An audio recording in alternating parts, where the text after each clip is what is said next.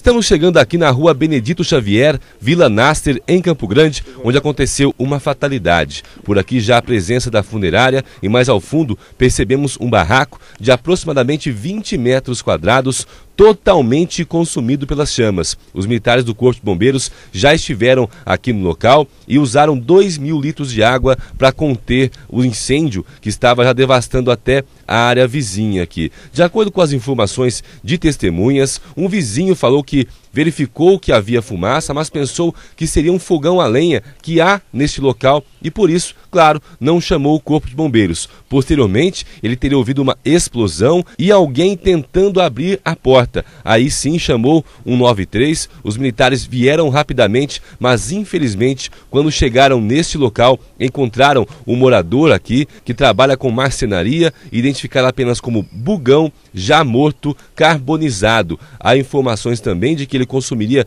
com frequência bebida alcoólica e infelizmente aconteceu esta fatalidade aqui na Vila Nasser, em Campo Grande, um homem morto carbonizado. Rodrigo Santos, para o Povo na TV.